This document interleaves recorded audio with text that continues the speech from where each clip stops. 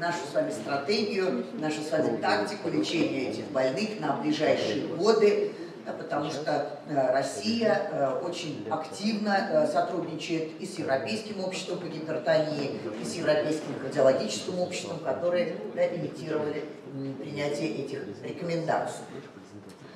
Что изменилось, что не изменилось?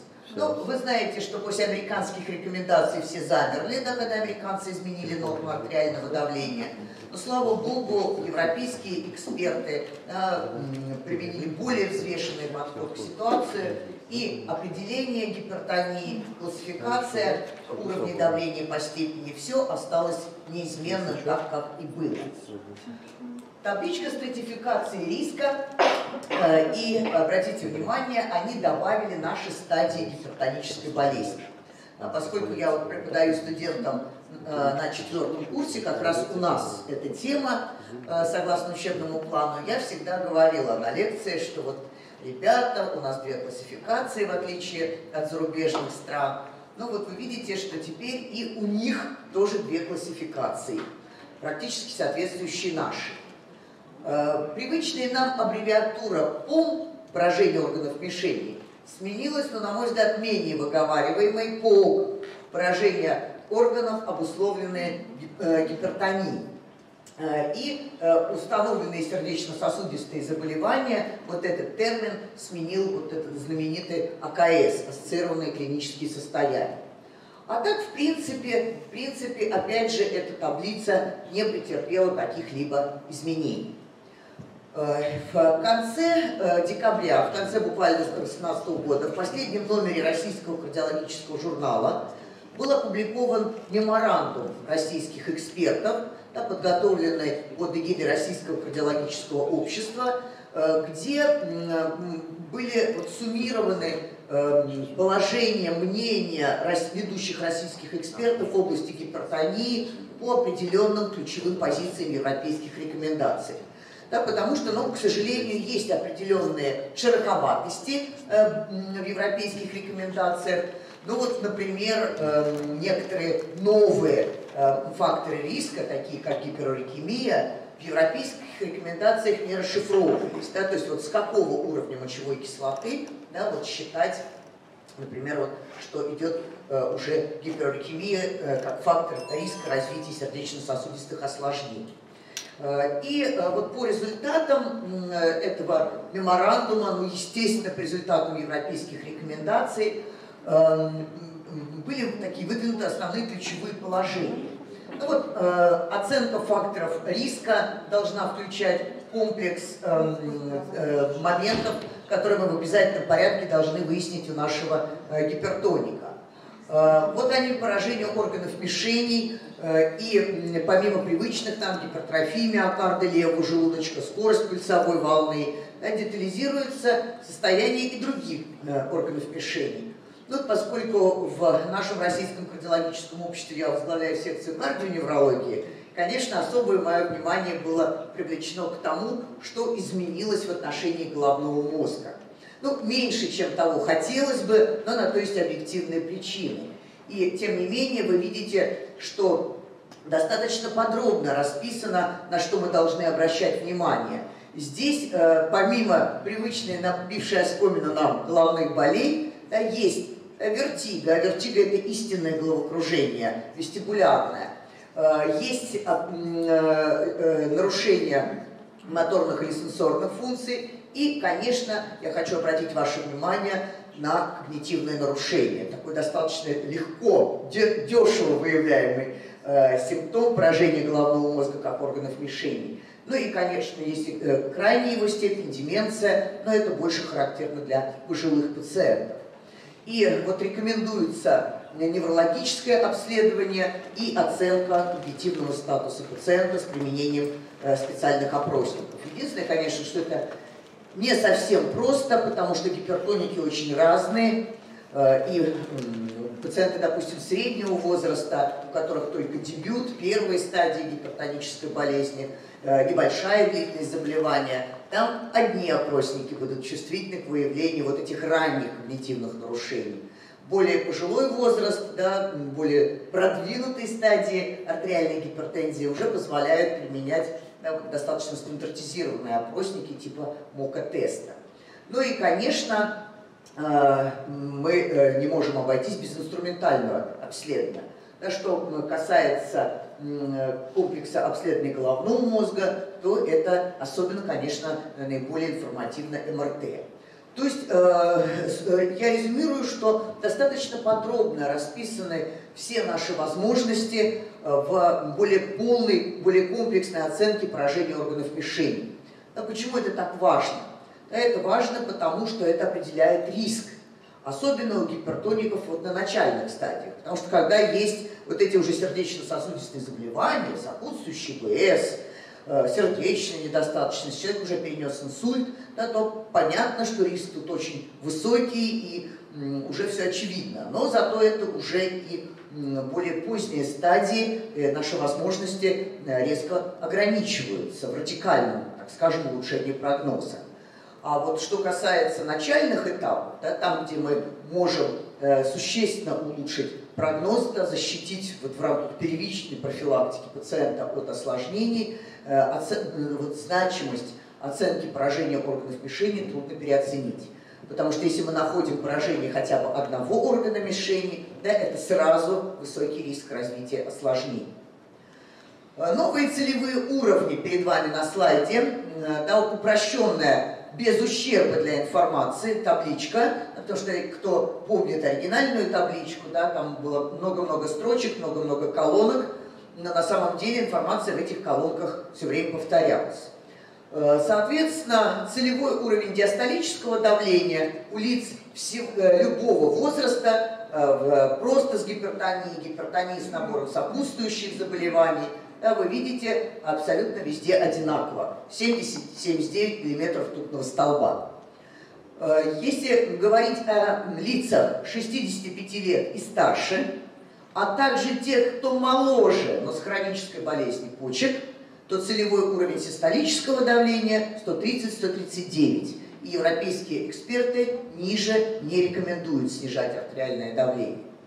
А вот э, если мы говорим о пациентах моложе 65 лет э, и без ХБП, с гипертонией, с другими сопутствующими заболеваниями, но без ХБП, вот именно этой группе Э, стоит э, возможная цель снижения меньше 130.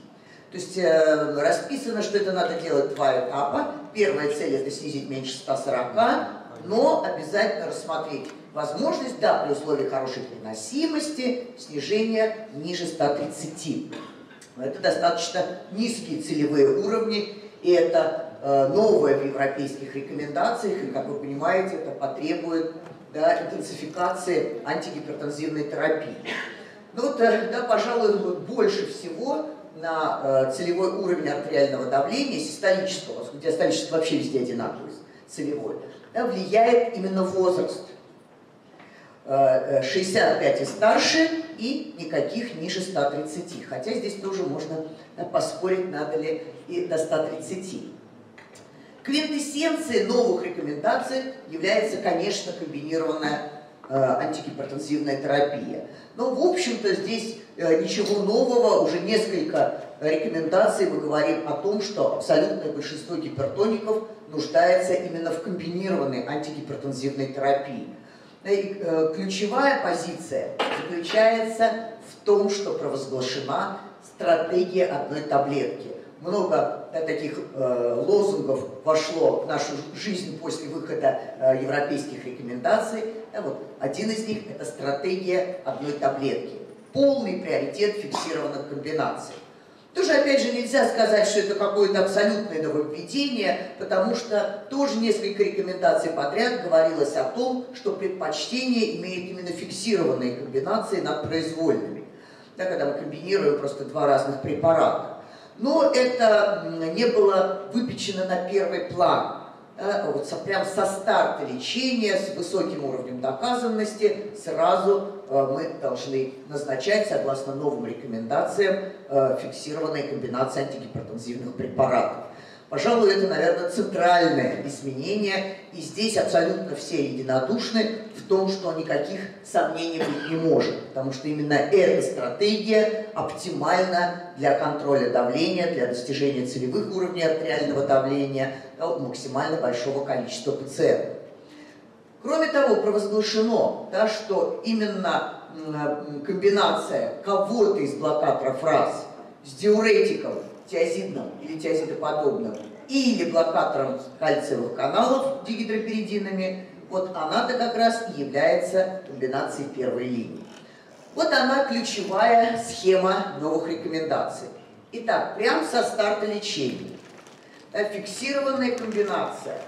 Кто-то из блокаторов раз, пожалуйста, вы можете использовать ингибитор АПФ, вы можете использовать сортан. Это как вы решите.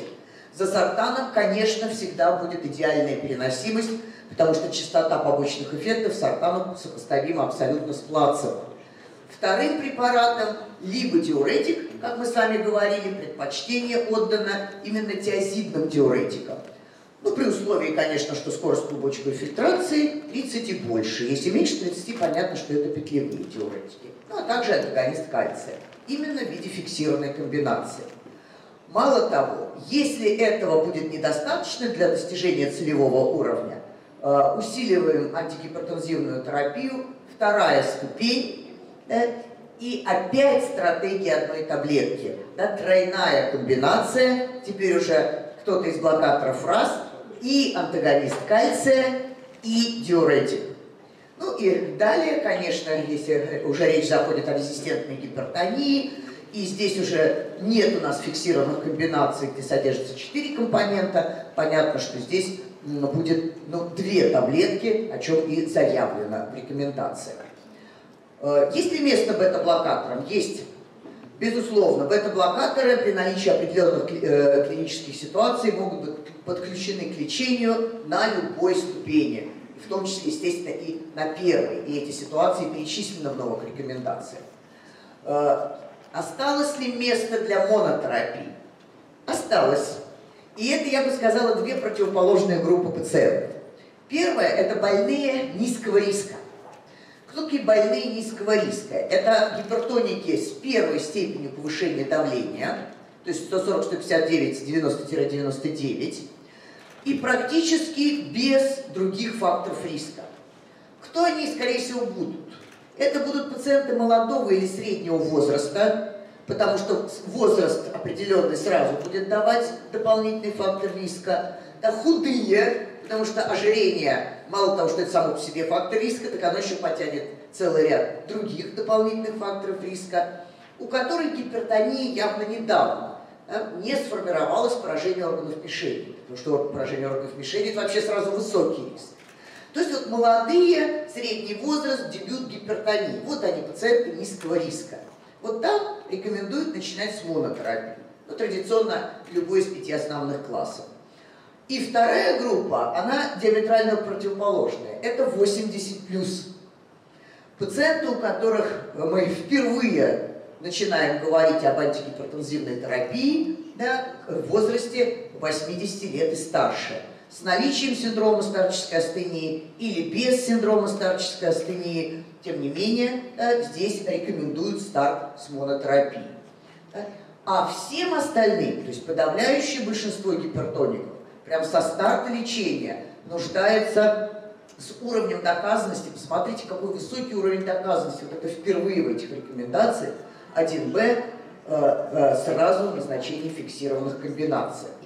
Они всегда рациональные, они всегда обеспечивают да, э, аддитивный эффект, то есть дополнительно усиливают, взаимоусиливают друг друга и приводят к очень хорошему антигипертензивному эффекту.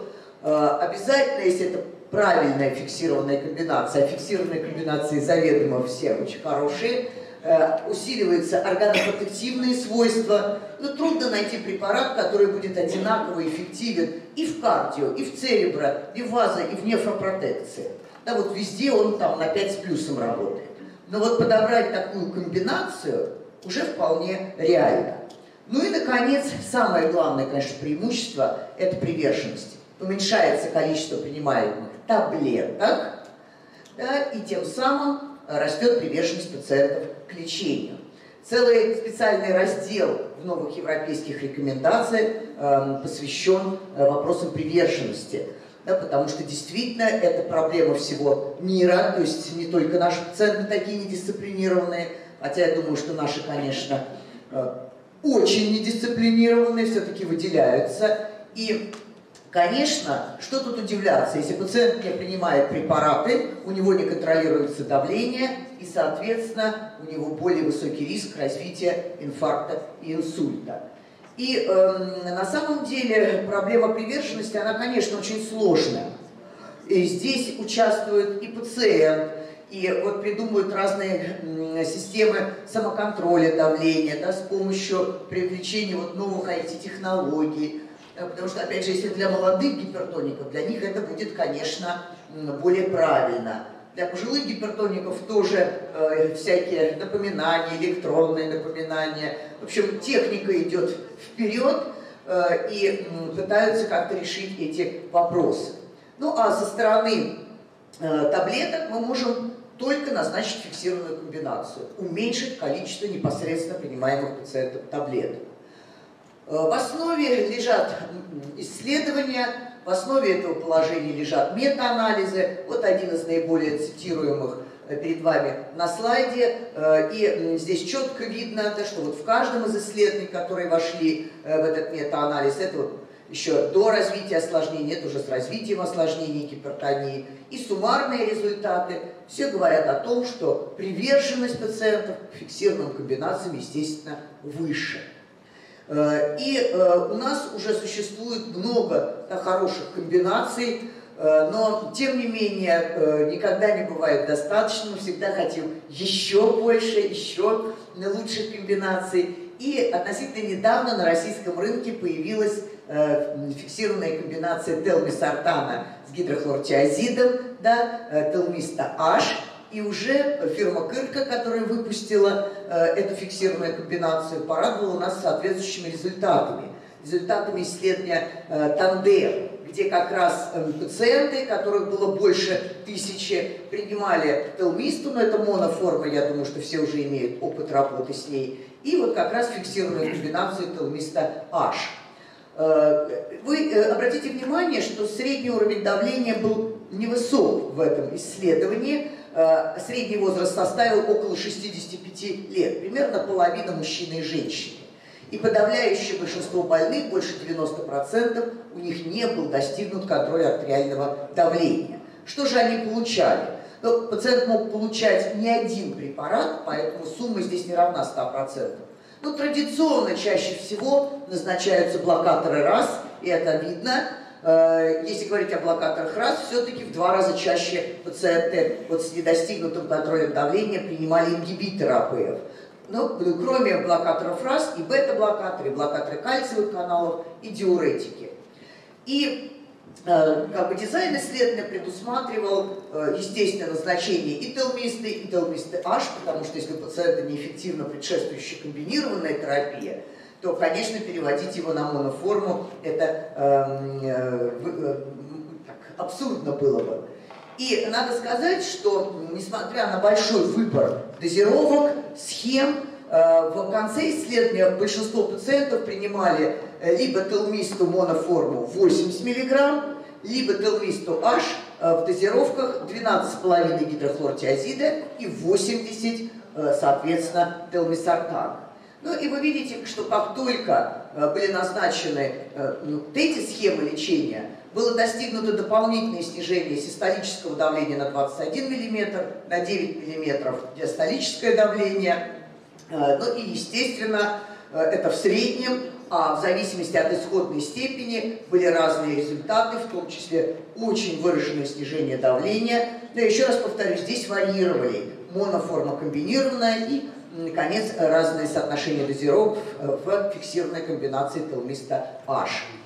А прекрасная переносимость, но кто бы удивлялся, э, сортаны всегда этим отличались, и телмисартан, естественно, не исключение, и практически 94% э, врачей э, отметили переносимость телмиста и телмисты H как отличную или очень хорошую. Кому еще да, мы вернули эту схему, э, мы говорили о ней как о стартовой схеме да, лечения артериальной гипертонии, но обратите внимание, вот такая же схема лечения, да, то есть э, э, блокатор раз с диуретиком или антагонистом кальция в новых рекомендациях прописано. Для пациентов с наличием поражения органов мишени, гипертрофии миокарда левого желудочка, там, микроальбуминурии, пациентов с сахарным диабетом, пациентов с периферическим атеросклерозом и пациентов да, с ЦВБ, цереброваскулярной болезнью по-нашему.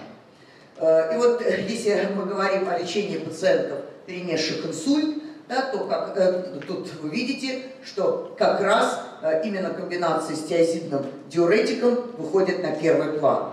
Я позволю себе напомнить вам исследование «Прогресс», и в комбинированной ветви, там, где пациенты получали комбинацию блокатора раз с диуретиком, риск повторного инсульта снижался на 43%, а в целом по исследованию на 28%.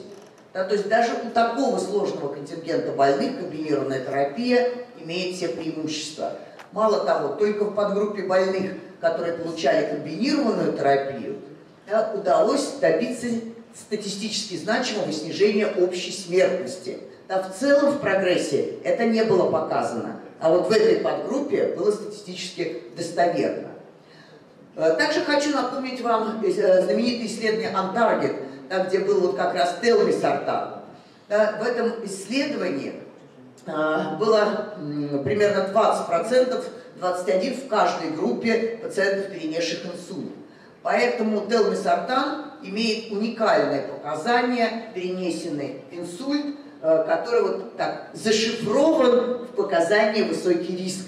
Да, то есть вот новая фиксированная комбинация телмиста H, она как раз Э, очень симпатично э, для церебропротекции э, у пациентов, перенесших какие-то острые мозговые эпизоды, транзиторные ишемические атаки, ну, тем более инсульт. Ну и еще хочу что сказать. Когнитивные функции, я не случайно специально обратила ваше внимание, как это выглядит в новых европейских рекомендациях. Это маркер поражения головного мозга как органа мишени. Так, приоритет фиксированных комбинаций объявлен давно, но исследований, которые бы изучали влияние разных фиксированных комбинаций, а тем более сравнивали их между собой на когнитивные функции, да, вот поверьте, по пальцам одной руки перечислить, да, да еще и свободные пальцы останутся. И вот это одно из таких уникальных исследований, где э, это итальянцы делали, у пожилых гипертоников сравнивали две фиксированные комбинации. Телмисартан с гидрохлортиазидом, да, вот помните в исследовании Тандем, самая часто назначаемая дозировка 80-12,5, и фиксированную комбинацию ингибитора АПФ с гидрохлортиазидом. Э, в контроле давления по рутинному измерению э, результаты были одинаковые, то есть никаких различий. Правда, когда сравнили данные суточного мониторирования, э, выиграла комбинация фиксированная с телмисартаном. Ну, гидрохлортиазид одинаковый и там, и там. Да, вы знаете уникальную особенность телмисартана, у него сверхдлительное действие, и поэтому он лучше контролировал давление на протяжении суток по сравнению с комбинацией лизинаприл гидрохлортиазид. Дневные, ночные часы, особенно в ранние утренние часы. Что же оказалось? через только фиксированная комбинация телмисартан гидрохлортиазид, да, то, что сейчас мы имеем в виде телмисты H, э, достоверно улучшал память и внимание пожилых гипертоников. Это было обнаружено уже через 3 месяца, и также это было подтверждено через 6 месяцев наблюдения, да, в отличие от лизинаприла с гидрохлортиазидом. Причем Э, если говорить о памяти, то улучшалось как запоминание, так и вспоминание.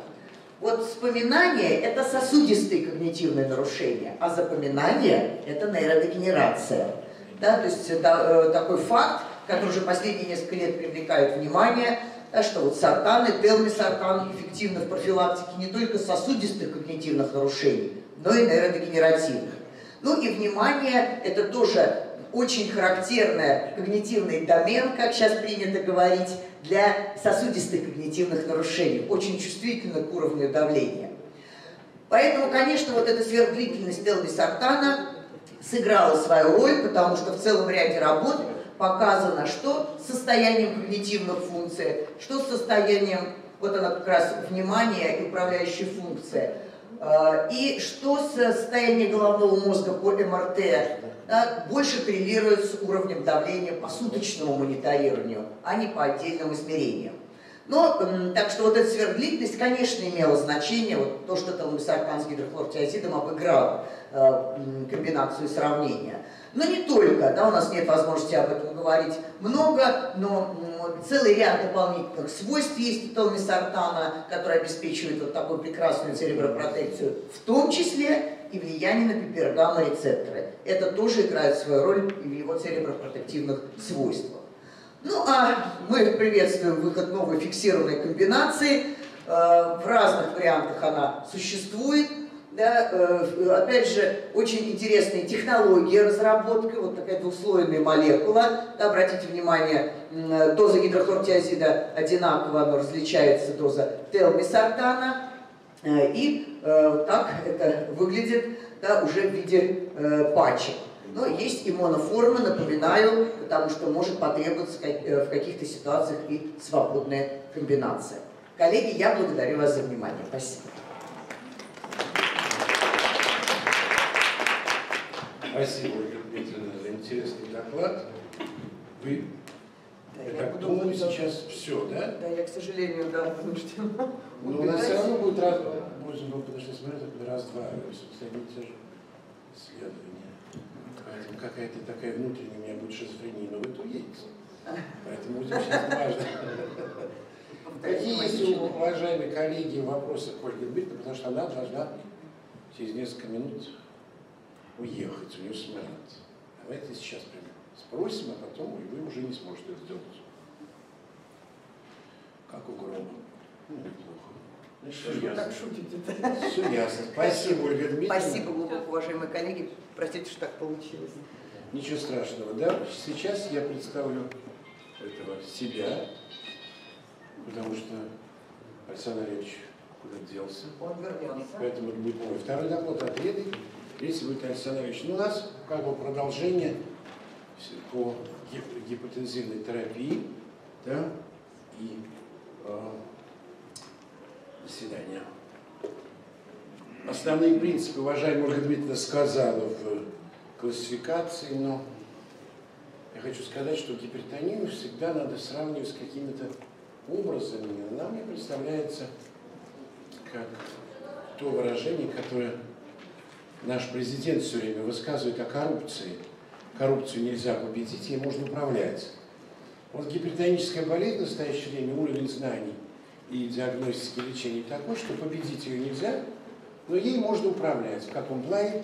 Управлять в плане снижения сердечно-сосудистых рисков, в плане снижения инсультов и инфарктов. Здесь, как я сказал, все достаточно понятно, достаточно ясно, но есть одна особенность течения гипертонии, который мы логично дополним к докладу уважаемой Ольги Дмитриевны когда наибольшее количество все-таки осложнений, этих самых осложнений, то есть и избежать этих осложнений тоже не можем, даже при адекватной терапии. Но другой вопрос, для нас в практическом плане всегда важно, когда этот инсульт разовьется. В 40 лет, например, или в 90. Поэтому излечить нельзя, а предотвратить можно. И в этом плане не только воздействие комбинированных препаратов и новых препаратов важно – ну и важно, как эти препараты нужно принимать, исходя из особенностей течения гипертонической болезни. Я хотел бы, так э, э, продолжая тему термосартана, сказать то, что всего существует оригинальных сартанов 8. 8. Я имею в виду оригинальных. И, судя по всему, никаких других молекул появляться больше не будет, потому что все крупные фирмы обзавелись своими собственными сортанами, и будут появляться только э, дженериковые препараты или копии, как их еще называют, и различные комбинации, как в данном случае сегодня уже звучало от теломисартана в месяце. Другой вопрос, какие это копии, какая родословная этих препаратов, откуда они берутся, есть ли в этих э, фирмах собственный синтез, либо они являются только а, а, а, препаратами, которые штампуются, и субстанции берется, например, в каких-то других странах, третьих странах. Это важно для того, чтобы вы оценили препараты. Потом, когда я слышу, например, по первой программе вот ведущую, не помню ее в очках, Малышева, что все дженериковые препараты одинаковые, это неправда. Это неправда. Поэтому не случайно в свое время член-корреспондент Академии наук профессор Белоусов требовал вводить так называемую терапевтическую эквивалентность, биоэквивалентность, посмотреть, как они себя ведут на первых этапах, этого недостаточно. Надо посмотреть, как препарат работает, то, что мы называем врачи этим словом, как он работает. К величайшему сожалению, в Российской Федерации вопросы регистрации дженериков препарата крайне упрощены. Всего надо сколько, по-моему, 12, если 18 студентов, которые берут и там сдают мочу кровь, и потом регистрируются препараты. И очень часто видите ситуацию, когда препарат вначале появляется, работает, а потом перестает. Мы уже говорили о том, что не только сам препарат должен быть оценен, его родословно, откуда он взялся, какова его субстанция, но и особенности течения гипертонической болезни. Я в свое время читал лекцию в, в Екатеринбурге, и профессор, э, э, забыл фамилию его, два брата они, директор института, да? А второй в Америке. Второй в Америке. Подарил мне книгу «Хронобиология гипертонической болезни» Габинский. Я тогда не придал этому значения, но как-то было время, я ее все-таки прочитал всю. И вот из этой книги по хронобиологии стали вырисовываться вот такие слайды. Такие слайды. Зависимости течения сердечно-сосудистой патологии от времени, от 24 часов. Там были очень много интересных данных от метеоусловий, от времени года, и это позволяет нам, не излечив, еще раз повторю, гипертоническую болезнь, правильно, адекватно назначить гипотензивные препараты. Потому что у каждого больного существуют особенности не только течения самой гипертонической болезни, но и именно того, как назначить этот препарат. Вот смотрите, как интересно здесь изложено вот в круге в этом. И там несколько слайдов их повторяет. В норме, в норме, вот здесь особенно показано, существует в ночное время подъем артериального давления в норме. То есть так устроена физиология сердечно-сосудистой системы, что артериальное давление достигает минимума в 3 ночи и плавно нарастает до 5 часов, и зачем резко увеличивается за час до пробуждения. Это норма. Вот сюда, если вы добавите еще и патологическое состояние в виде гипертонической болезни, то возникает та форма то состояние гипертонии, которое приводит к острым нарушениям мозгового кровообращения.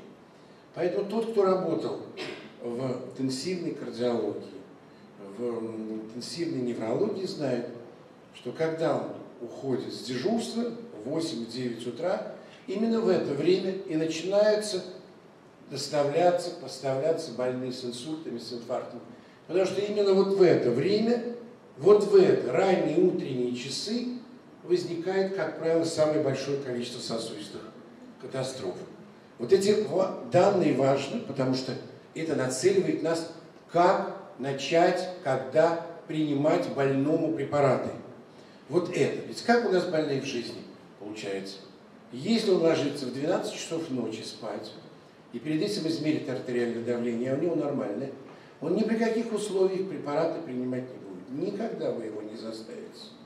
И он ложится спать, а у него вот эти процессы начинают происходить физиологии плюс гипертоническая болезнь. Значит, он становится неприкрытый вот эти часы, когда он спит от возникновения сердечно-сосудистых осложнений. И он просыпается, и самая частая ситуация такая, когда он начинает от его слова сбивать давление. 180 у него там на 100, 160 на 100. И такая ситуация длится какое-то время. Сбивает, да, вот кто в Африке был, видел, как бананы собирают и сбивают там какой-то палкой. То же самое, вот такая терминология у наших больных существует. Год сбивает, полтора года сбивает, потом все это сбивание прекращается, у нее развивается осложнение. Инсульт или инфаркт. Вот как раз все это укладывается. Есть еще и более, э, более другие э, состояния, как внезапная смерть, когда они просто умирают во сне. Вот почему я так внимательно останавливаюсь на, этой, на этих слайдах, потому что для нас важно принимать препараты, которые работают независимо от того, принял этот больной препарат или нет. Он должен работать 24 часа как минимум. Практически многие фирмы, а, выводя на, на, на рынок свои препараты, заявляют о том, что их препараты работают 24 часа. Но в жизни так не, не, не так, не, не происходит. Я могу назвать всего лишь несколько препаратов, которые действительно, действительно работают 24 часа, и вне зависимости, повторяю еще раз, от того, принял больной или не принял препараты, по разным причинам, забыл ли он, как говорила уважаемая Ольга Дмитриевна, в связи с когнитивными расстройствами, или принял сознательно, что у него давление, он у него будет прикрывать вот эти вот ранние утренние часы от возникновения инсульта, инфаркта.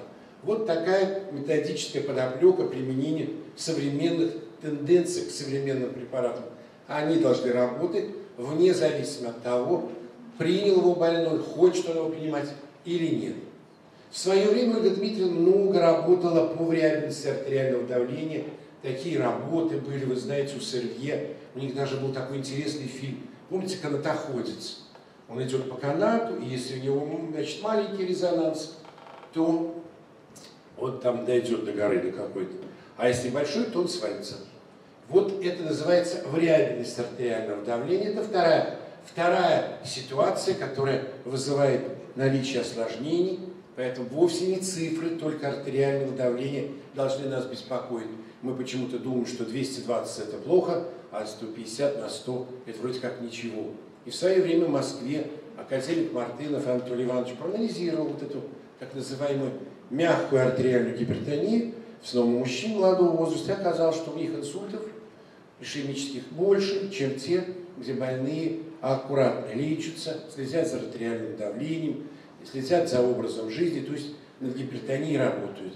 А когда у бизнесмена 150 на 100, 155 на 105, он гипотензивные препараты не принимает, он ходит в баню, пьет алкогольные напитки, и потом у них инсультов больше. То есть э, не только уровень и цифры артериального давления должны нами оцениваться, но и вот эти вот кривые, которые называются вариабельность артериального давления. А вот как раз то, что мы с вами проговорили в преамбуле, вот этим красным все изложено, изложено, смотрите, 6, 8 утра, 10, 6, 8, 10 утра, вот, ранние утренние часы. Причем красным это уже больных, которых привезли. Они уже попали в лечебные учреждения. А сами инсульты как раз вот 3, 5, 6 часов утра, они совершаются в эти ранние утренние часы.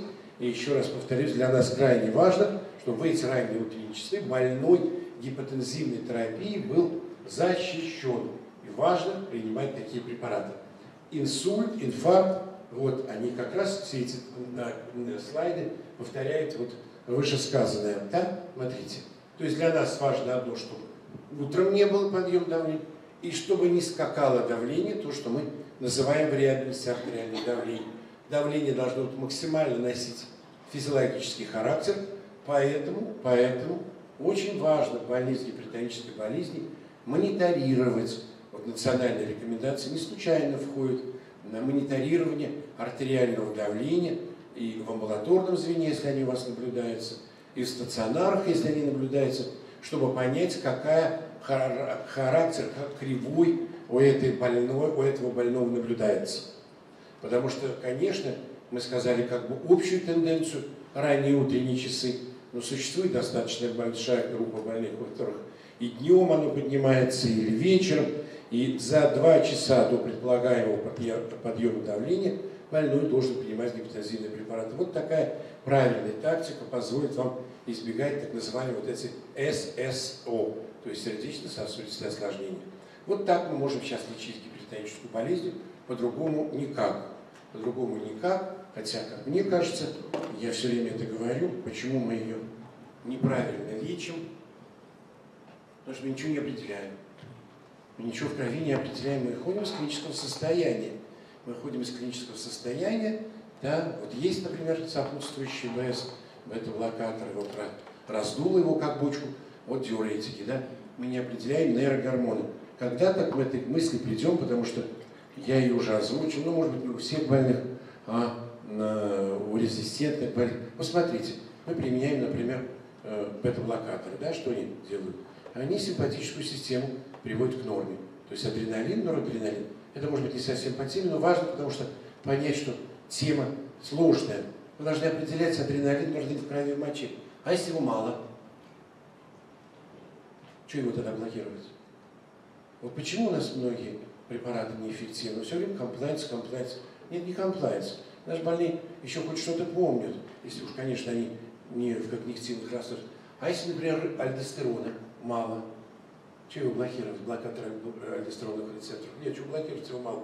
Но это на перспективу. Вот сейчас 10 апреля у нас будет в Москве там разговор про гипертонию. Меня просила Ирина Евгеньевна именно вот с этим тезисом выступить, что мы должны все-таки определять какое-то количество энергогормонов. Почему во многих случаях ингибиторы сортана неэффективны? Мы ничего не определяем.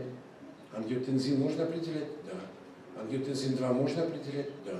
Я такого больного видел. А, мы, а если их мало? А если их в норме? Это вот я вам просто говорю, может быть, не совсем по теме теломистр, а может быть и по теме, потому что для нас важно понять, что мы должны определять нейрогормон, тогда мы будем точно, значит, вот эта свистопляска должна быть устранена. Нам не нужно это, э, вот этот, вот, это, вот э, этот танец. Я уже говорил, что всего сортанов 8 раз. 2, 3, 4, 5, 6. 2, где еще? А кого нету двух? Давайте спросим. Ханда, Эпра, Ирпа, Сартан. Кого двух? Волсартан нету. И еще кого-то нету. Лазартан. Лазартан 25 лет, мочевая кислота. А кырки все есть. Все. Что не плюнь, куда все есть у кырки. Все есть. Все есть. С волсартаном какая да, фигня получилась? Но ведь они синтез имеют. Кырка имеет свой синтез. Тева. Вот это из подворотни наше, озон. Сияние какое-то северное, синее, голубое. А они все брали в Китае. И было огромное письмо Росздравнадзора, что отозвать молекулы. Наши врачи перестали назначать. И те, которые брали в Китае, и тот, который делали Кырка Вальсакура, Вальсакура, аж это неправильно, выкинули с водой ребенка. У, у Кырка свой синтез. Они сами делают. А они настолько, я хочу сказать, мне как-то посчастливилось. Лет, наверное, сто назад они меня свозили в Словению, потом бросили. Вот. Они настолько в этой Словении дорожат вот этой фирмой, она делает ветеринарные продукты, косметику, она фактически их единственный поставщик валюты. И они, конечно, ни с какими вот этими китайскими дрянью связываться не будут. Вот для нас важно, что из этой таблицы. Смотрите, 98% выделяется из кишечника. Печень не затронута. Значит, при заболевании печени теломисартан телмиста, как она у них называется, может быть использована в нашей клинической практике. А, и а, если вы знаете историю, еще у меня время есть, фирма, которая производила этот препарат, потратила почти миллиард евро на разработку молекулы и на вывод ее на рынок. Они не просто так потратили миллион, э, миллиард долларов, они потратили на препарат, который оказался самым сильным по эффективности действия из э, всех восьми э, вышеуказанных сортанов. Он как раз и работает 24 часа удовлетворяет тем вопросам, которые нас интересуют, чтобы ночью он прикрывал наших больных, независимо от того, принял он этот препарат или не принял. Вот. Поэтому он увидит солнце, и он увидит э, Луну, если будет принимать гипотензивные препараты. В противном случае он ничего не увидит, и будет другой. Вот. И самый Я думаю, что здесь будет следующий доклад непосредственно фармакологии этих препаратов, но на, на механизм действия сортанов – такой, что плывет, плывет вот эта молекула ангиотензина 2, значит, у меня там есть, я ее найду, да, и она, ей нужно сесть, куда-нибудь сесть на рецептор. И если она садится на рецептор, она начинает выделять всякие там эффекты, краткосрочные, долгосрочные, краткосрочные, которые задержку мочи давления, воды и давление вызывают, долгосрочные фиброзы в разных органах. И молекула вот телмиста сама садится на этот рецептор и уже ангиотензин-2 садится некого, он циркулирует в крови, гидролизируется и перестает действовать. Вот механизм действия, образно говоря, сартана. Так вот, на весь рецепторный аппарат телмиста садится полностью, закрывая его полностью. Поэтому у него такая степень афинности, поэтому у него такая степень биодоступности, и поэтому у него такой клинический эффект, он действует а, а, больше 24 часов. Вот, поэтому спрашивают, почему он самый сильный из всех, из всех восьми сартанов. И поэтому, потому что он полностью закрывает рецепторную площадку. Вот. Вы помните это исследование ONTARGET, да? Где там сравнивали телмисартан и рамиприл. Потом мне посчастливилось быть в Севилье на э, заключительном заседании этого, и вроде как получилось, что ONTARGET, они по эффективности одинаковые в плане гипотезы. Но был очень исследование призма, не путайте с клизмой, вот, да, которое было проведено еще где? В 2006 году Вильямсом и авторами, они показали, что все-таки телмисартан превыходит. И когда вот нам там докладывали конечные результаты вот он таргета, Оказалось, что они его неправильно посчитали. Группа с телмисартаном была более тяжелая. И у них как бы получилось, что он не хуже ремиприла, что он как бы так по эффективности. А на самом деле он превосходил эффективность рамиприла в плане э, лечения гипертонической болезни. Поэтому рамиприл а, уступает по эффективности телмисартану. И вот исследование PRISMA это показало. Вот. Огромное количество пациентов это все миллиард евро вошло, вошло в исследование по телмисартану 53 тысячи человек.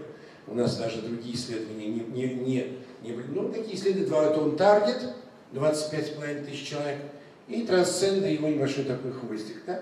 И они, а если их нет, э, ну, эффективность, то, тогда их только включает в доказательную базу и в, различные руководства. То есть вот он, он таргет, трансценда, а потом были исследования професс, еще целая куча выходила, такая практика есть, когда заканчиваются большие исследования, начинает исследовать в этой же группе больных дополнительные сведения получает. Поэтому по теломисартану очень много таких субисследований. Вот она, эта зловредная молекула ангиотензина-2, и она должна быть дезактивирована. И если на любом этапе вы ее превращаете, вот стрелки указаны, то все более-менее улучшается. Инфарктов с инсультом меньше становится и сердце перестает раздуваться, и фиброзно изменяться, ремоделироваться и так далее. То есть молекула ангиотензина-2, ее активность должна быть скомпрометирована, она должна быть дезактивирована, тогда, тогда вы ну, э, получите, ну, вылечить вы его не получите, как мы с вами говорили, а вот э, продлить его жизнь вам удастся. Вот. У телмисартана есть особенности в том плане, что одобрены показания для профилактики сердечно-сосудистых заболеваний и э, по абсолютному снижению смертности. Здесь важно понять одно. Не риска в снижении смертности. Риски это еще риски. Снизится у него там или нет. А здесь абсолютной смертности по э, сердечно-сосудистым заболеваниям, если вы лечите больного теломисартаном, теломиста. Я думаю, что у э, уважаемого Александра Олеговича будет более подробное сообщение по поводу вот этих э, патофизиологических свойств, особенно при по влиянию PPR-гамма рецепторов. А мы с вами говорим вот эту стойку AT, вот она площадка, AT1 рецептор, на который садится, садится теломис, да, и не дает дальше этому, значит, эффекту проявляться. А эффекты это и снижение артериального давления, воспаления, резистентность к инсулину, дислепидемия, путем модуляции PPR-гамма рецепторов. Это впервые, помните, глитозоны. Эндокринологи заметили свойства глитозонов. Они впервые заметили, применяя глитозоны в своей практике, что э, у больных сахарным диабетом снижается уровень сахара и холестерина, хотя не сахароснижающий препарат. И вот эти свойства глитозона связались с PPR-гамма рецепторами, и они присущи только одному препарату, это телмисартан, телмистат. Для нас важно клиницистам снижать уровень атеросклероза. Вот. Поэтому, добавляя значит, какие-то другие препараты, например, гидрохлортиазид, вы начинаете управлять туда, куда вы добавите гипертонию, э, мочегонные э, артериальные гипертонии становятся управляемой.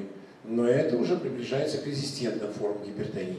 Телмиста и телмиста H – это дженериковые препараты с теломисартана, в фирме с собственным синтезом. Поэтому не, не надо брать препараты, которые произведены неизвестно где. А здесь уже, уважаемый академик Гринов Тандем, я уж не буду э, подробно на них останавливаться за нехваткой времени, и это а, такой, знаете, сюжет модный и мало кому подобный. И эта фирма на своих собственных препаратах, она не только на э, Телмисте делает, у них и по Кодальневе, и по Дальневе, они проводят свои собственные терапевтические исследования. То есть изучают то, что говорил Юрий Борисович Белоусов, терапевтическую эквивалентность на своих препаратах. Это мало кто, между прочим, делает из дженериковых препаратов. Да я даже не знаю, кто еще делает, кто. Но точно это не делает Тева, у которой никаких индийских, никаких израильских препаратов отродясь не было, все вы из Индии. Это никогда из жизни не сделает наш Озон из Жигулевска. Понимаете? Они, может быть, и не делают большие исследования по 25 тысяч человек, как он таргете, но они их делают с позиции доказательной медицины идеально, включая, как правило, 7-8 стран Восточной Европы, и исследуют свои, я подчеркиваю, свои препараты, которые они у себя, собственно, синтезируют и анализируют. Вот это очень важно, потому что э, э, терапевтическая эквивалентность, она, конечно, необходима на критерии для того, чтобы препарат применялся. Мало ли там, что биоэквивалентность, а потом он неэффективен. Поэтому тандем уже вкратце рассказала. Уважаемая Ольга Дмитриевна, этот слайд она уже показывала. Давайте на нем не будем останавливаться. Она упоминала, что 94% оценивали эффективность. Вообще высочайший срок. То есть выше 70% считается, если ответить на лечение, это препарат эффективный. Это очень высокие цифры по переносимости. И а, телмиста, телмиста H – это два препарата, которые вошли в нашу практику, как дженериковые препараты с оригинальной молекулой телмисартана, с оригинальной и очень большой доказательной базой и своим собственным исследованием тандем, в частности, по э, э, дженерику препарата. Вот то, что я хотел сказать. И у меня еще есть 7 минут, уважаемые коллеги. Сейчас Александр Олегович объявится. Какие есть у вас вопросы по этой теме или вообще касаясь гипотезированных препаратов? Потому что у нас за полтретьего есть свободный разговор. Я начал без семи, полчаса. Все строго как положено. Я очень боюсь, я очень боюсь опоздать. Я очень боюсь нарушить, потому что я видел это в Токио. Он вышел, говорил, говорил, говорил и нарушил. Если в Европе колокольчиком звонят, дзинь-дзинь-дзинь, идите, в университетской клинике вместе с этой кафедрой стал опускаться. Опускаться вниз. И когда у него голова показалась, он исчез. Я слышал, что до сих пор его найти никто не может. Бродит, бродит где-то. Поэтому у меня есть еще пять минут. Я боюсь опуститься.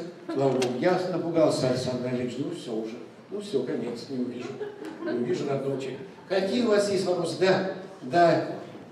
Леонидовна. А вот как нам лечить тех гипотоников? Я знаю, что это ваша любимая тема. Просто недавно вот на, одна наша с Ольгой Васильевной коллега. Вот. Как бы вы лечили гипотонику? У нее было всю жизнь там 80-60, сейчас у нее где-то ну, 90-60, 120 она уже умирает, 110 для нее уже плохо. Вот как ей изначально? Нет, подождите, да. Это проблемы, которые, с да. моей точки зрения, существуют. Огромные Потому что проблемы. наши классификационные нормы гипотоников куда-то потеряли. Лечить их, наверное, надо как, как обычных больных. А дозы? А это надо спрашивать людей, наших организаторов, которые будут наши классификационные нормы. С моей точки зрения, многие новые формы, которые мы тащим из Запада, они мало применимы для Российской Федерации. Вот возьмите, например, классификацию стабильности кардии канадской, да? Первый, второй, четвертый класс, зависит от того, сколько он проходит метров. Никаких объективных критериев. И он тебе расскажет четвертый класс и пятый, просто только чтобы получить группу. Возьмите классификацию сердечной недостаточности Нью-Йоркской. Никаких объективных критериев. Вот он одышку рассказывает, поэтому, наверное, все-таки мы должны учитывать это. А с гипотонией надо спрашивать людей, которые разрабатывают классификационные органы. Точно такие же принципы как и лечить, э, вот как их оформлять, как их оформляется амбулаторно, если он тебе приходит 80 на 60, а приходит на тебе 110 на 70, и ты нужен больничный лист дал, а следом прибежит с топором страховая компания, потом КРУ, вот у нас сейчас сидит, она один топор уже разрубила об голову главного врача, бегал за мной, я убежал, потом приходит э, прокуратура, потом приходит министерство, потом приходит, и, и все в одну. Я даже удивляюсь, Александр Ильич, один раз захожу, а у меня в кабинете маленький кабинет, шесть человек стоит, прямо или сидит, Одну задавили, какую-то женщину из, какого-то министерства. Все были проверяльщики. Все хотели что-то проверить. Поэтому, понимаете, вот так. Вот как оформить больного. Лечить пациент придет как гипер, вот гипертоника. Лечить понятно, а дозы какие, да? Ну, дозы подбирайте. Все индивидуально. И что лучше? Как ты можешь сказать, если у него 80 у меня? Вот у него 80 60, 90 60. На 110 потом, уже потом 120, по, по, по нашей классификации норма. Да? А по этой его парализовать может. Я так думаю, что это отдельный разговор, у нас времени для него нет. Я думаю, сейчас должны Александра Олеговича Недошивина услышать, доктора наук, профессора, член-корреспондент. Восемь раз, между прочим, был в Самаре. А я вот только первый раз увидел. Ну, исправлюсь. Вице-президента Российского кардиологического общества, заместителя генерального директора известнейшего нашего центра Алмазова, практически такого, такого даже, например, я не сказал передового, какого-то единственного в такой. Поэтому у нас, Александр Ильич, интересное сообщение, да, я сейчас его озвучу, с вашего разрешения. Фокус на защиту пациента с артериальной гипертонией и продление жизни. Это наш любимый красивый город Питер. Спасибо большое, Александр Ильич. Спасибо, Александр Анатольевич. Я той стороны сяду, чтобы скажете, всего наблюдать. Глубоко уважаемые коллеги, мы продолжаем наш сегодняшний разговор, который был начат Ольгой Дмитриевной с обоснования того, что именно фиксированные комбинации, именно блокада ренин-ангиотензиновой системы сегодня лежит во главе угла ведения больного с артериальной гипертонией. И есть несколько вопросов, которые лежат на поверхности, но не очень детально трактуются нашими новыми рекомендациями. Вопрос первый. Хорошо, мы достигаем целевых значений уровня артериального давления. Это главное, чего мы должны достичь. А зачем это вообще нужно? Нужно это затем, что перед нами стоит очень сложная государственная задача. К 2024 году, все это хорошо знаете, увеличить ожидаемую продолжительность жизни в нашей стране до 78 лет, а к 30 году до 80. Преимущественно за счет снижения смертности от болезней системы кровообращения. Эти цифры имеют для нас с вами силу закона. 450 случаев на 100 тысяч населения. Сейчас в нашей стране смертность от БСК в разных регионах ну, где-то 600, где-то 700, где-то 500, но ну, есть регионы, где по тысячу. Таким образом, нужно достичь в течение очень короткого времени, 24 год, это через практически 4 года, очень радикального снижения сердечно-сосудистой смертности. Кстати сказать, при этом мы все равно не достигнем среднеевропейских значений. Какое имеет к этому отношение, собственно говоря, ведение больного с артериальной гипертонией? И что это за цель? Которые мы перед собой ставим, только ли достижение целевых значений. Вот основные три концепции, которые описывают нашу стратегию в отношении достижения снижения смертности. Первая, очень правильная концепция. Мы должны ей следовать. Это первичная профилактика это популяционная стратегия, это информированное население, здоровый образ жизни, физическая активность, правильное питание, отказ от курения.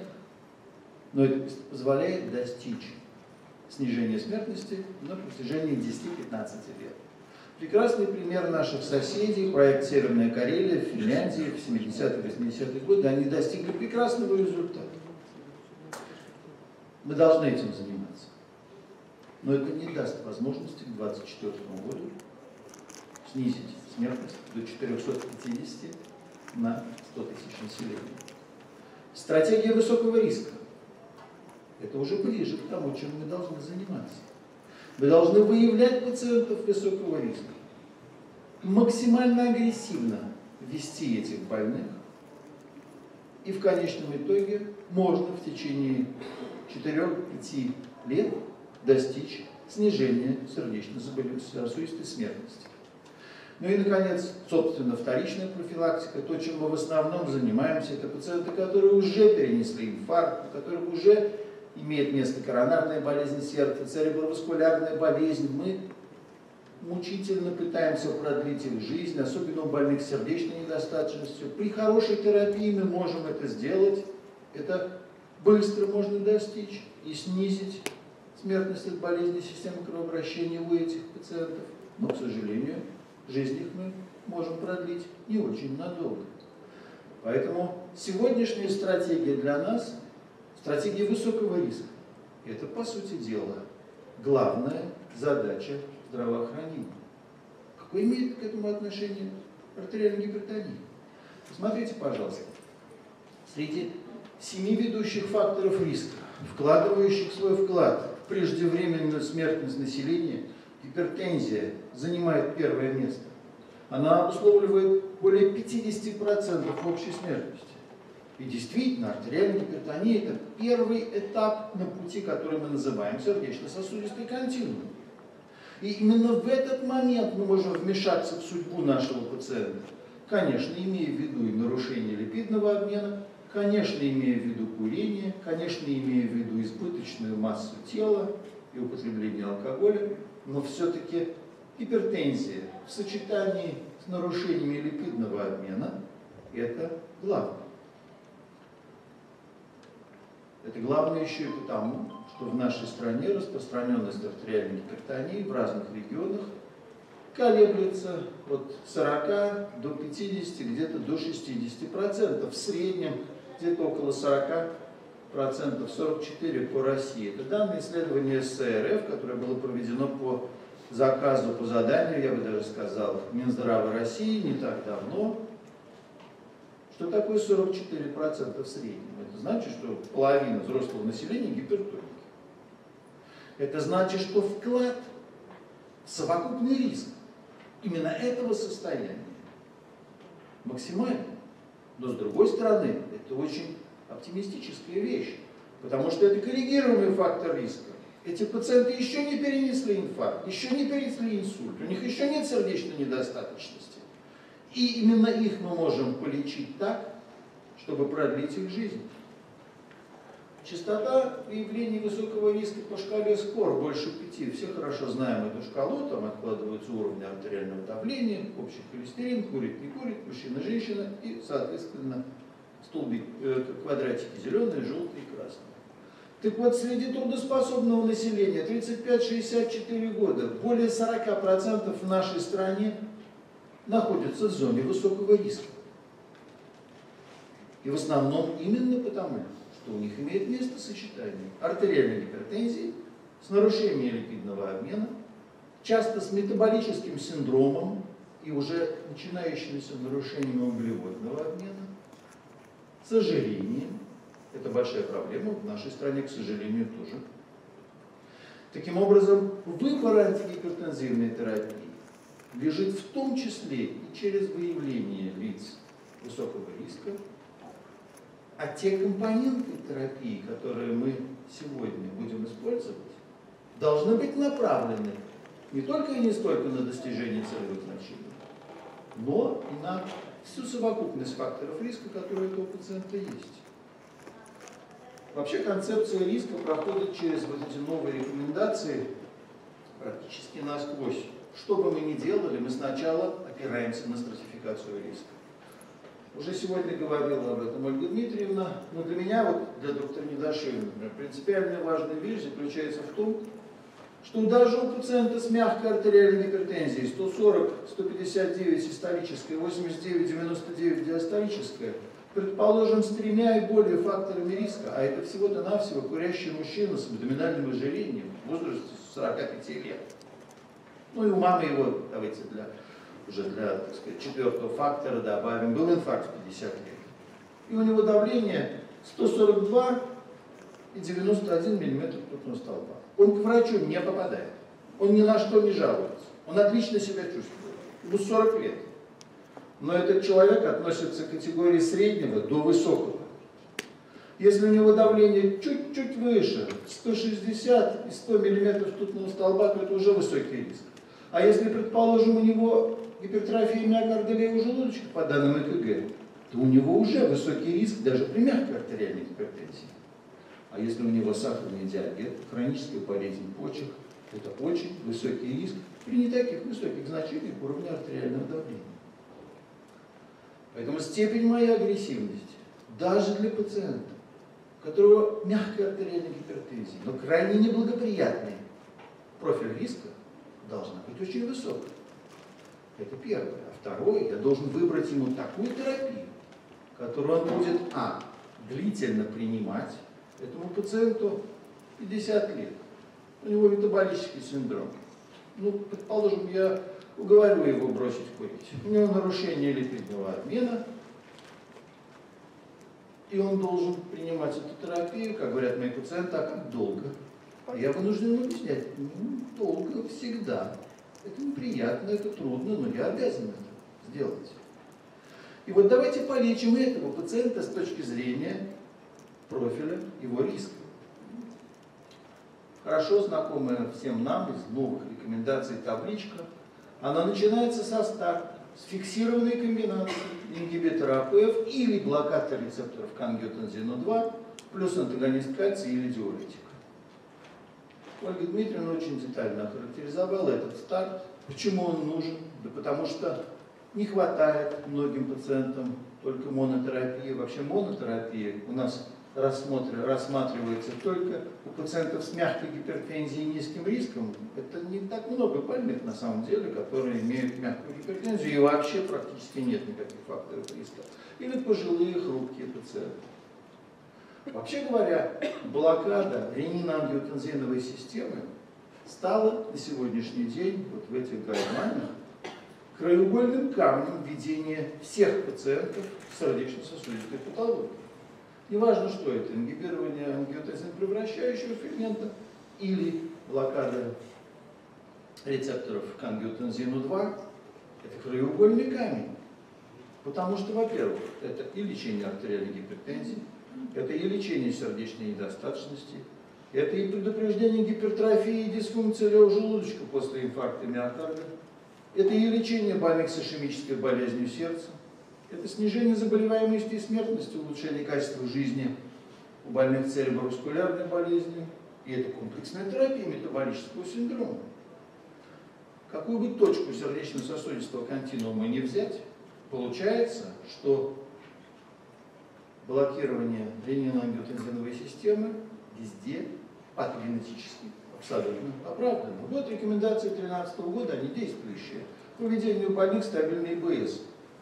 Помимо аспирина, статинов с уровнем доказательности классом рекомендации 1А назначение ингибиторов АПФ или блокаторов рецепторов ангиотензина-2 при наличии сопутствующей патологии. И далее перечисляется все то, о чем мы сегодня говорим. Это обусловлено не только и не столько способностью препаратов этой группы собственно снижать уровень артериального давления, но и активно влиять на ремоделирование гипертрофии сердца и сосудов, улучшать органный кровоток, улучшать микроциркуляцию, препятствовать дальнейшему развитию атеросклероза. Вот те критерии, которые я закладываю в требования к препарату, который я назначу своему пациенту которым я хочу продлить жизнь, в первую очередь достигает целевых значений уровня артериального давления, но не в последнюю очередь за счет воздействия на органы и ткани мишени, а ангиотензин-2 играет центральную роль в повреждении органов мишени на протяжении, по сути дела, всего сердечно-сосудистого континуума, от гипертензии, инфаркта миокарда, через инсульт и к смерти. И очень важно, конечно, почечная недостаточность, хроническая болезнь почек. Вот очень хорошая табличка из журнала Сергея Руджеровича Гелеревского, очень известного московского профессора. Вот это вся совокупность исследований, которые характеризуют, по сути дела, доказательную медицину в области кардиологии за последние 30 лет. Вот все, что мы сегодня имеем, вот оно здесь и представлено. И надо сказать, что блокада ренин-ангиотензиновой системы, ингибиторами ЛЯПов или блокаторами рецепторов к ангиотензину-2, это львиная доля достижений того, что называется доказательной медициной. При этом, и сегодня уже говорила Ольга Дмитриевна, конечно, сортаны лучше переносятся, чем ингибитор АПФ. Это факт, с ним трудно поспорить. Переносимость сортанов близка переносимости плацебо. Вот табличка, диаграмма вернее, из исследований Пифагор-4 доли назначений сортанов в нашей стране. Традиционно на первом месте по количеству, хотя все меняется, между прочим. А, вообще говоря, мы очень консервативны, какой препарат первый появился, вот он, как бы, значит, вот и мы его назначаем. Но появляются новые препараты, очень выигрышные, с новой доказательной базой. И мы должны очень активно реагировать на все новое. Первый появился в нашей практике действительно лазартан, прекрасный препарат. Исследование LIFE в свое время стало революционным, когда лазартан выиграл у атонолола с диуретиком. И теперь уже никому не придет в голову больному с метаболическим синдромом назначать 100 мг этанолола с гидрохлортиазидом. Конечно, мы пойдем на другую терапию. Но тогда это было совершенно неочевидно. Мы с вами применяли этанолол прекрасно в дозе 100 мг, прекрасная антигипертензивная терапия. Но вот именно это всегда нужно помнить. Мы могли тогда достичь, там были сопоставимые результаты в исследовании LIFE с точки зрения достижения целевых значений. Но эффект в отношении новых случаев сахарного диабета, в отношении инсульта был совершенно разный. Связано это именно с тем, что мы должны выбрать лекарство, которое будет иметь очень благоприятный профиль в отношении липидного обмена и углеводного обмена. Затем в нашу практику вошел, наверное, все-таки вальсартан, и действительно он достаточно часто применяется, очень достойный препарат. И последнее время мы все чаще пользуемся телмисартаном. Он, кстати сказать, имеет прекрасную доказательную базу ничуть не уступающую доказательной базе лазартана и вальсартана. И я бы хотел обратить ваше внимание именно на телмисартан. Вот выдержка из рекомендаций 2013 года. Она как-то прошла незамеченная, между тем это очень интересный тезис. Смотрите.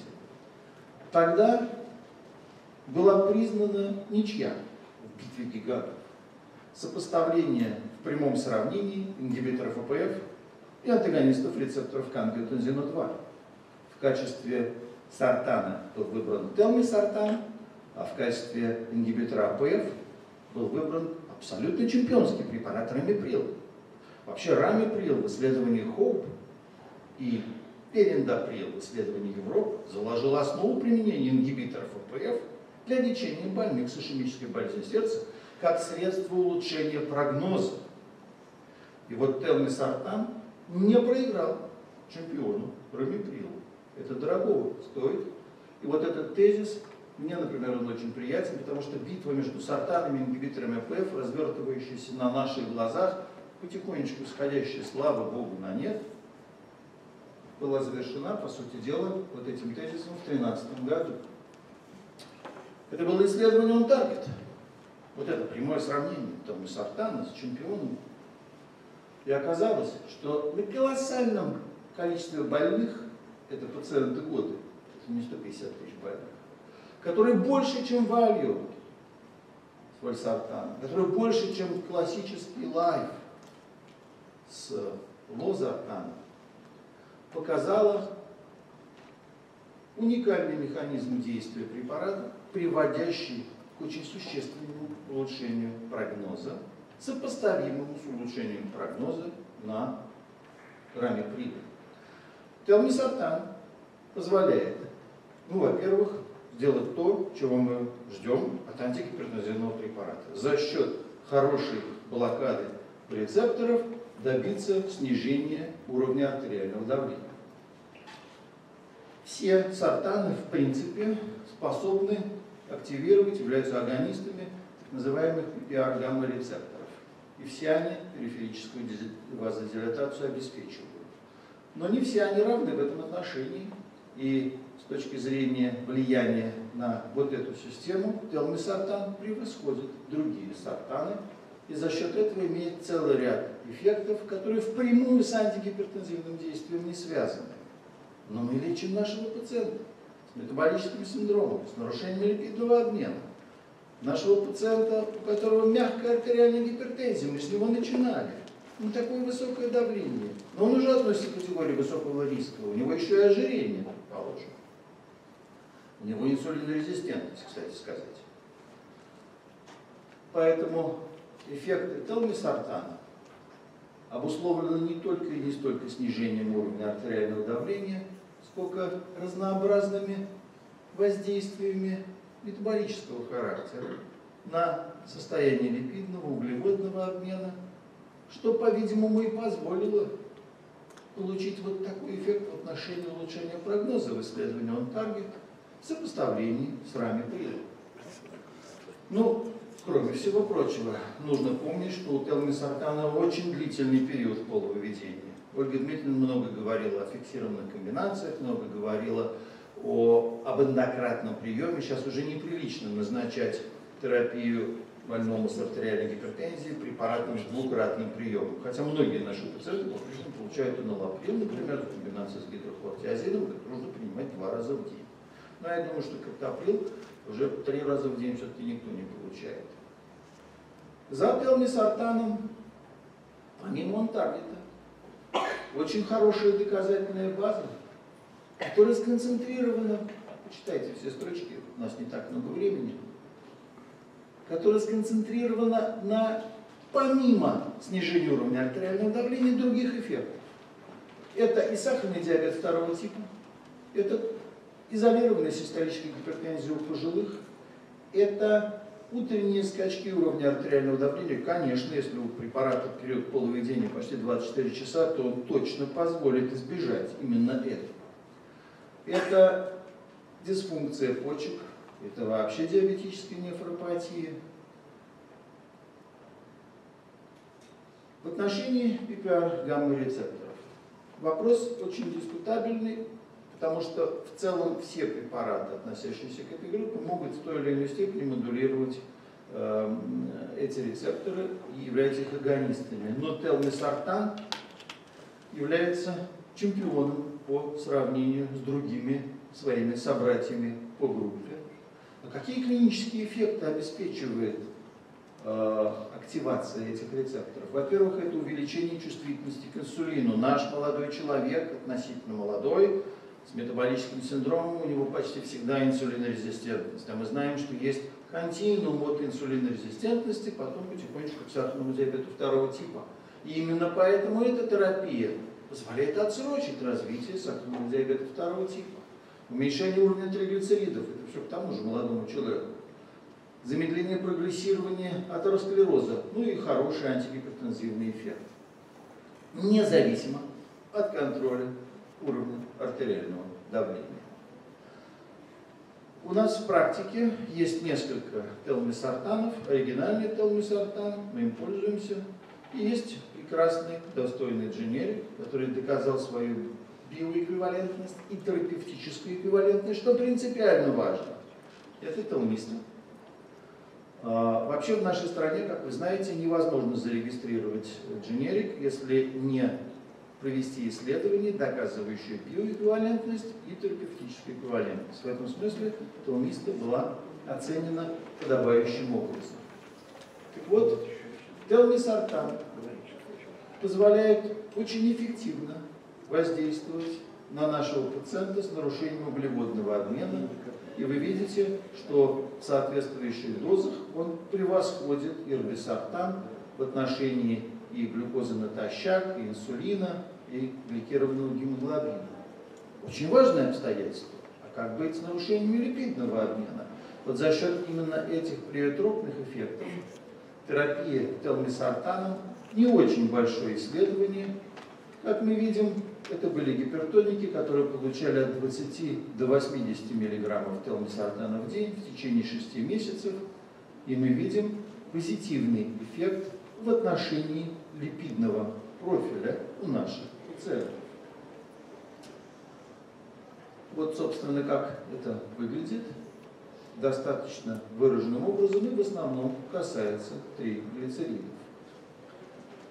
Что касается уровня адипонектина, это вещество, которое чем э, значит, больше у человека абдоминальное ожирение, тем уровень адипонектина ниже. Он имеет массу всяких э, эффектов в отношении и э, провоспалительных факторов, и если вещество, в данном случае телмисартан в дозах 40-80, обладал способностью повысить уровень адипонектина, причем в большей степени, чем рамифрин, то это очень хороший, ну как бы сказать, вспомогательный эффект той терапии, которую мы назначаем по поводу артериальной гипертензии. Ну и вновь в отношении триглицеридов. Почему это важно? Потому что э, больные с метаболическим синдромом, сахарным диабетом, это очень специфическая категория именно в отношении этой части липидного спектра. Таким образом, выбирая терапию, нашему больному высокого риска. Когда мы хотим продлить ему жизнь, мы должны выбрать лекарство, которое, с одной стороны, будет эффективно с точки зрения достижения целевых значений. Это абсолютно бесспорно, и если мы не достигаем целевых значений, значит мы не выполнили свою основную задачу. Но попутно мы должны иметь в виду, что мы должны позитивным образом повлиять на состояние липидного углеводного обмена. Мы должны по возможности обеспечить высокую комплаентность, и именно сартан обеспечивает максимальную комплаентность. Это справедливо, кстати сказать, не только для телмосартана, а в общем для всех препаратов этой группы. Это класс специфический эффект. Мы должны обеспечить и экономически, между прочим, чтобы мой пациент мог позволить себе эту терапию. Можно выбрать прекрасный, замечательный сартан, он будет стоить на, на месяц лечения 2500 рублей, мой пациент не сможет этого потянуть ну, в большой части случаев.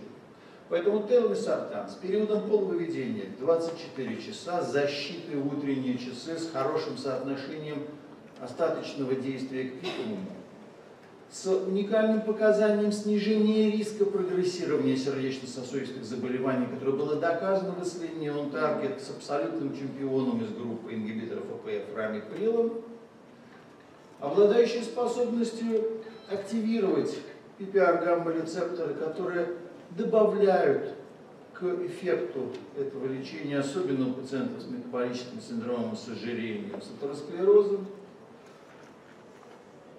Это препарат, который позволит нам добиться хорошего эффекта. У нас есть возможность использовать телмисартан в форме телмисты 24 вот не зря здесь показано, это действительно 24 часа период полуведения. Таблетки 40 и 8, кстати, чем еще хорошо, если ваш пациент забыл принять, то ничего драматического не будет, он просто на следующий день примет следующую свою таблетку, и все.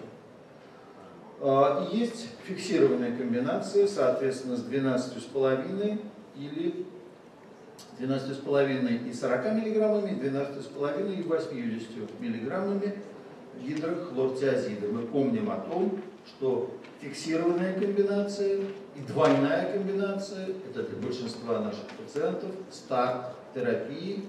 И об этом помня, мы часто назначаем именно вот такую фиксированную комбинацию. Завершая, я хотел бы всех пригласить на сайт Российского кардиологического общества www.cardio.ru. Он, э, мы с вами присутствуем здесь вообще-то на региональном конгрессе Российского кардиологического общества. Э, этот сайт очень обновился за последние, наверное, 5-7 лет. Во-первых, там представлены все рекомендации, которые европейские вышли, в том числе самые последние, и российские рекомендации. Там представлены анонсы всех мероприятий. Там даны анонсы всех наших изданий. Это не только российские. Можно пройти дальше в российский кардиологический журнал с выложенными статьями. Здесь есть все наши новости, здесь есть клинические разборы. А, здесь будет размещена, она уже начинает размещаться, а, по сути дела, русская версия европейской платформы e-learning. У нас теперь все Е, все цифровое, и а, это очень хороший образовательный инструмент. На нем надо зарегистрироваться. Ничего такого сложного в этом нет, получить логин пароль. И дальше пользоваться всеми ресурсами. Можете скачать себе любые рекомендации и в вашем компьютере ими пользоваться. Для этого совершенно не нужно искать какой-то журнал. Поэтому я всех приглашаю на сайт Российского радиологического общества. Спасибо вам большое.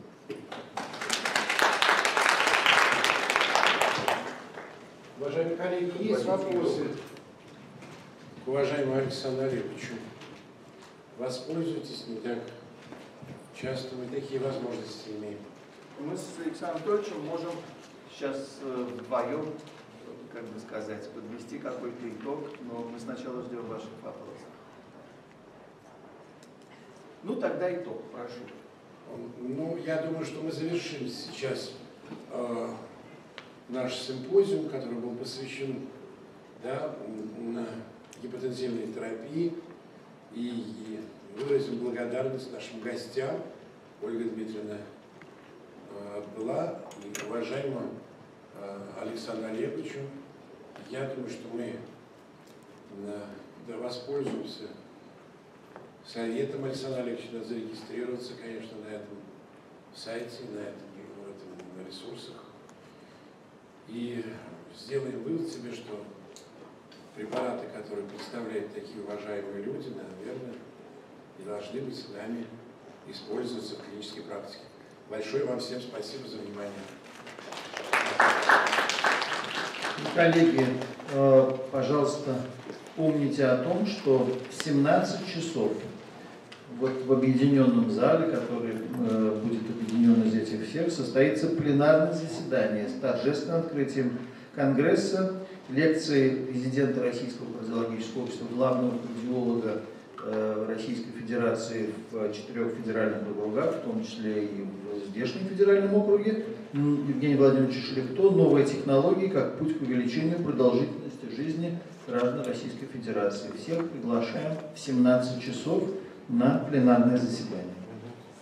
Спасибо большое.